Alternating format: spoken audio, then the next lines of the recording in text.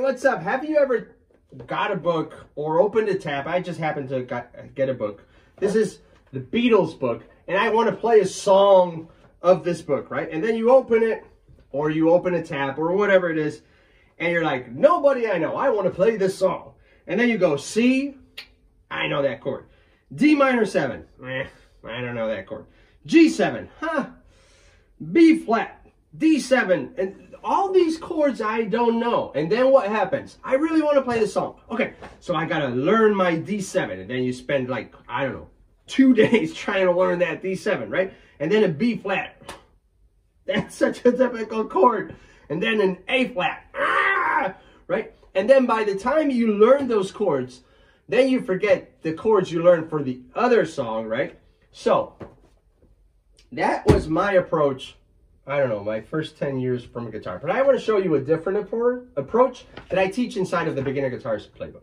And it is, look how simple this is.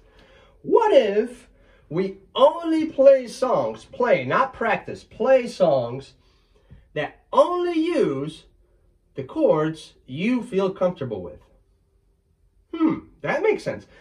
If you only choose songs from a list of chords that you all, that you feel comfortable, you should be able to play any one of those songs. Does that make sense? So let's just say you know how to play C, G, and G. Well, go to the website I share here, type that in, and it's going to spit out around, I don't know, 3,000 songs. The Joker is one of them.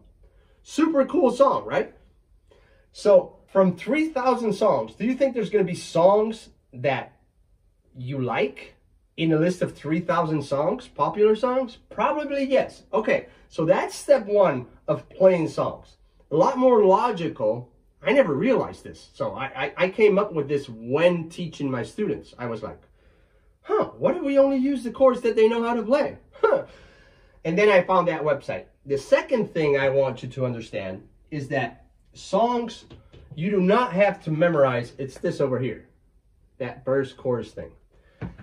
Songs do not work like a poem. If you try to memorize a poem, although it has structure, you have to memorize every single line, right? So you gotta go line one, line two, line three, line four, and it's very difficult. It's like three minutes of a poem. Super complicated.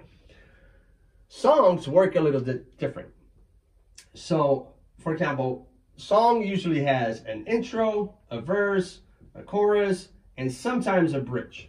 Those are like the four main things that a song can have. Many songs only have verses and choruses or intro, verse, and chorus.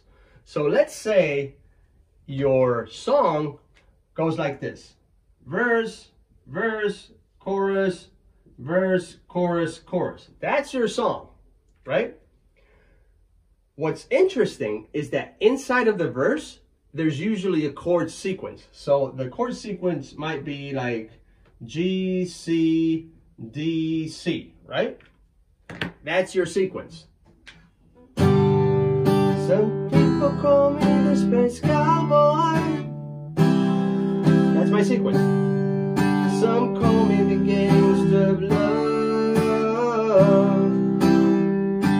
And it repeats itself over and over and over, right? So you've got GCDC over and over and over in the verse. Well, this is verse 1. What happens to verse 2? 99% of the time, verse 1 and verse 2 are going to be exactly the same. They sound different because of the lyrics, but as guitar players, we can play exactly the same thing. Cool. So this we play times 4 for that song, and then we repeat it here again. Chorus. Okay. let's just say we chose the chords G, G, C, and D, right? In our website. What chords do you think are going to be in the chorus? Probably the same ones, okay? Maybe it starts with a C and then a, C, a D and then a C, whatever it is. But there's another sequence over here. Disclaimer, this is not the actual song. I'm just making things up, but this is how it works. So if that's a sequence for the chorus, what do you think is going to be happening on chorus 2 and chorus 3? the exact same thing. So now you've got two sequences you've got to learn, and boom, you can play the song. Doesn't that sound a lot easier trying to memorize line by line by line by line by line by line? Now, you might be thinking, where do I change chords? Here's the tip. If your song, I did a video on this the other day. If your song is in a 4-4, right?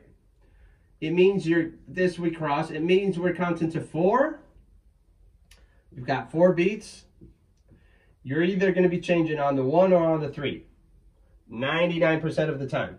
If your song is in a 3-4, which means we cross out that 4 again, we just count to 3, you're going to be changing chords on the 1. So, if your song is a 4-4, counts to 4, you can either change on the 1 and the 3, like here. 1, 2, 3, 4, 1, 2, 3, 4, 1, right? Or you're changing on the 1 on a 3, 4. 2, 3, 1, 2, 3, 1, 2, 3, 1, 2, 3. That's the trick. It's that simple. Forget about the melody. Forget about everything. Find out the sequence for each one, each part of your song. And then count to four or count to three. Boom! And you'll be playing songs in no time. Again, this is inside of the Beginner Guitarist Playbook. Want to check it out?